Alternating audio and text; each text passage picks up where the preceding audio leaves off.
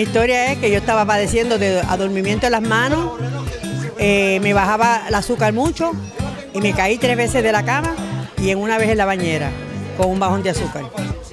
Me, vi grave, grave de los brazos, no los podía mover, no podía mover las piernas, no podía ver nada y vine aquí a Cano y ahí me han hecho nueva. Me, sacaron placas, me pusieron las células madres, me pusieron este, muchas inyecciones y ya estoy mejor.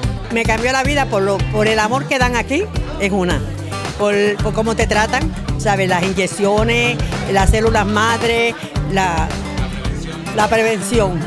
Todo, todo me ha venido muy bien. Y yo estoy muy feliz, siempre a todo el mundo le digo, vayan donde Cano, vayan a la 83 donde Cano, para que usted vea que se van a ver bien y se van a sentir bien.